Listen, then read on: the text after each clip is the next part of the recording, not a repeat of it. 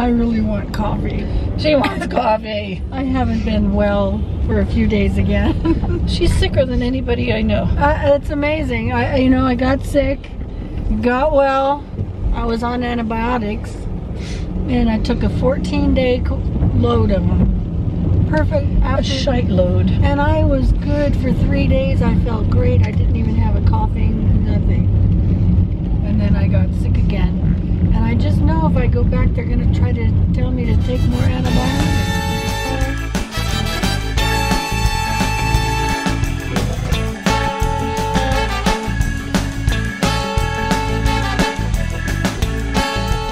Have not. Oh, it was such a good storm we had. We had a fabulous storm. such a good storm. My friend Michelle was flying in from New Hampshire where they were having a huge nor'easter. yes. So it cleared enough for her to get out. She was stuck there on Tuesday till Tuesday. Well, she's supposed to leave Tuesday. She got stuck. Mm-hmm. So I go to pick her up at the airport. Now it does call for snow, people. It does call for snow. Does it say how much? However, I left for Reno at about 6, 6.30. Her plane's coming in at 9.50. I think I'll get my nails done, which I did, thank you very much. Man. And then I went to the Peppermill, played some dollar, not dollars, well, a few dollars in pennies, oh, she played a few dollars. and won a hundred dollars. Oh, how much did you spend? I sp- I cleared a hundred dollars. Oh, nice. That's Yes.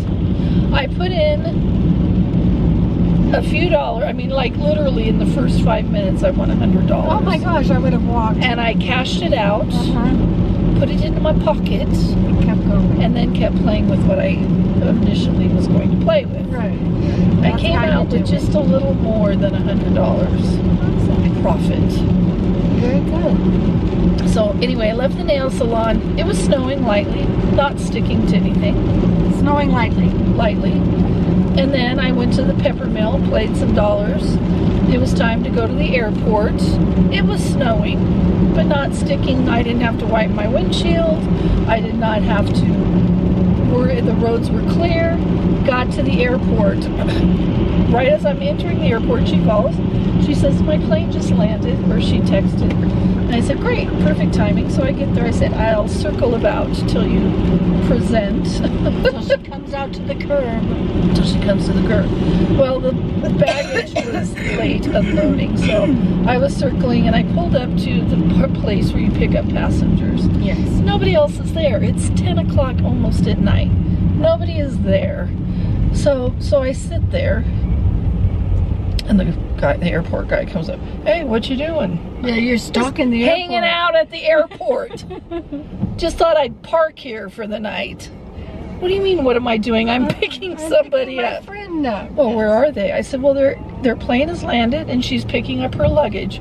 Well, I'll give you three minutes, Oh my gosh. right? So he says, because the snow removal equipment is coming. And I'm like, for, for For what? what?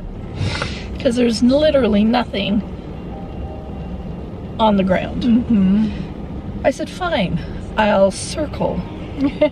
There we go. So I went around once again and then I pulled up further down the road where it said media staging area. Media staging. I figured area. I was the media. Did you so I camera? staged in that area until she called me and said I'm on my way out. So then I pulled up to pick her up. As she exits the Airport. airport, the skies opened and like a the deluge. snow started piling up Like a tundra. like a frozen tundra. and I'm like, holy crap. So we're leaving Reno. Literally, I get to, I think I'll take the old road because I don't There's want to be on that bridge. big There's bridge. this bridge that's very scary. Yeah, and I don't want to be on there. And if there is a problem, I wouldn't be able to turn around. Mm-hmm. Yeah, so there's I'm no told to go place. to Old Washoe, and I get to right before that hill. You know what I'm Right, talking. I know, before you turn it in onto the uh, Washoe Lake route to go around. Yeah, it wasn't even that. I mean, that yeah, that hill. Yes. So I all of a sudden, I mean, the snow is piling up rapidly, and I said to Michelle, "I don't want to alarm you, but I have no control of the vehicle right now." and literally, I'm just drifting sideways. My oh, lovely traction control kept me kind from of spinning, Yeah. but I was definitely just drifting. As you were trying to go up the hill? Not even to Not the hill even yet. Okay. So I thought, okay, I'm gonna pull over to the side of the road and we're gonna have a conversation. And I look up on the hill and there's like three or four cars stopped on the Oh, you ain't hill. gonna make it that far. And I'm like, been there, done that. been there, done that. So I said, we're turning around. We spent the night, I had no clothes, I had no toothbrush, I had no nothing. Bye, Paige. And they spent the night in Reno Went to Reno, spent the night in Reno. because there's too much snow. There was too much snow. I'll insert a picture of the snow the following morning. Oh, it was something. Seriously? Seriously, folks? Seriously, Yes, Seriously? The What way, we are, uh, where we are, where we have come. look at this. I think chains are gonna be our only way home. With the rate that it's coming down. And thank goodness for my sister. So, What did I do? shoveled my driveway. Oh, yeah. so I could at least get into the driveway. Oh, there was at least a foot and a half, foot and a half of snow. I mean, literally. This happened, people, I swear, in a matter of hours. Uh-huh. Yeah, and It's then her- her driveway, there was, there would be no physical way you could have got in there. No, not in this car. I told my son, I'm like, um, we're gonna go, um, well, I said, no, I'm going to go shovel. He's like, no, you're not. No, you're not. And I'm like, yes, I am. I'm gonna go shovel. Now, what's the deal with that? And my son and my daughter both, they don't. that old. I'm 63 years old now, seriously. I can I shovel said, what is driveway. different between this year and that last Last year? Why can't I Because shovel you're now the matriarch. I guess. I, I put the shovel in the trunk, after which what we had done earlier is shovel my driveway and get the foot and a half of snow off the top of, and all around my car. Yes. You know, and he was bitching at me then too. Dad, you can't do that. I'm like, I'm doing it. Anyway, so I, It was I put it in the in the in the um, trunk, go up to Leah's house where they have a snow blower. Yes. And my son runs out and he gets in the car as I'm going. I'm like, okay, and he gets up there and you can snow.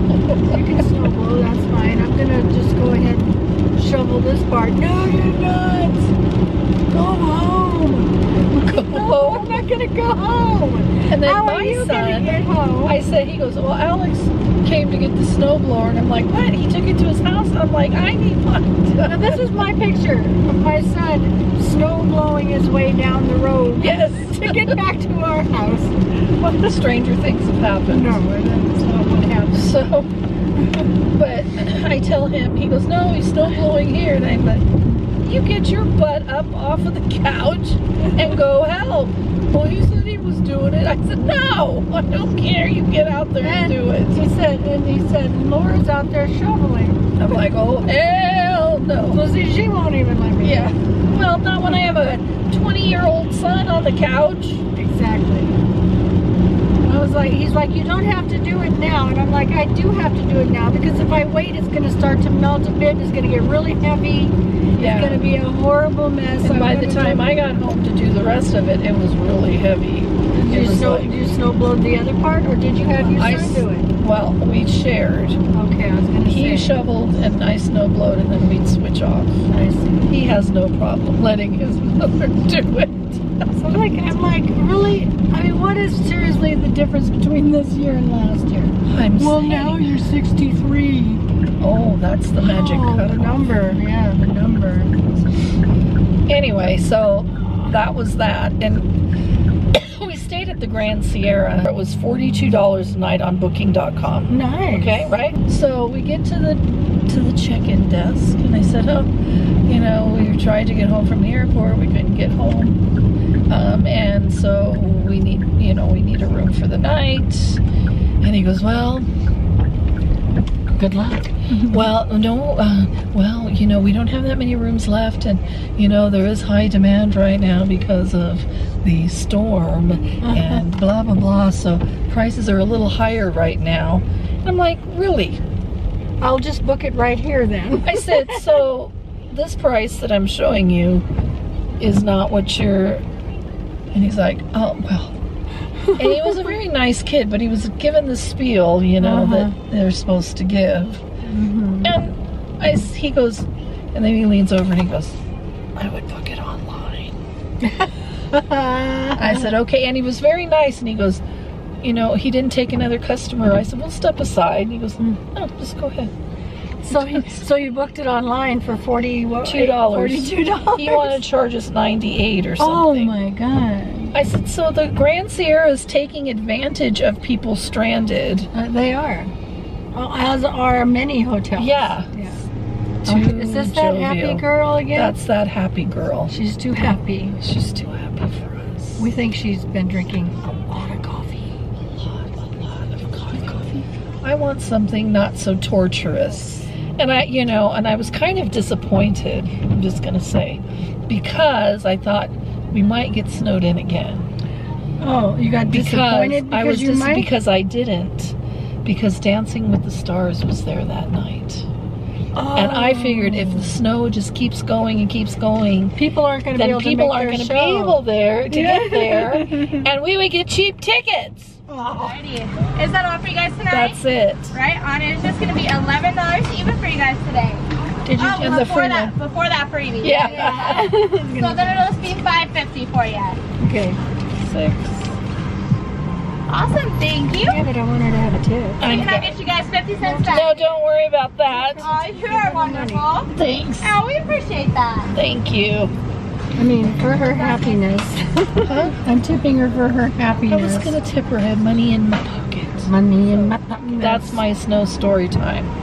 Then it was scary. It was harrowing, I like but that. we made it. Reminds me of when I when I was young and driving in my Pinto with no radio. Oh my god. For one time, we were coming over from Sacramento and there was no traffic, and I'm like, and it was snowing so hard. and there, I mean, there was literally no traffic. So I'm like, okay, and just hap, hap, hap, happily moving along, you know, and come to find out the road was closed. I was on it, I don't know how I got on it, but it was closed, and it was like an ice sheet. It is raining like a mother. Cats and dogs. Cats and doggies.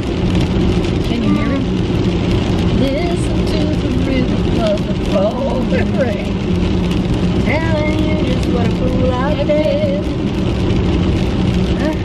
Can't think of any other words, so I guess I'll start singing again. We've got our coffee. We're going home.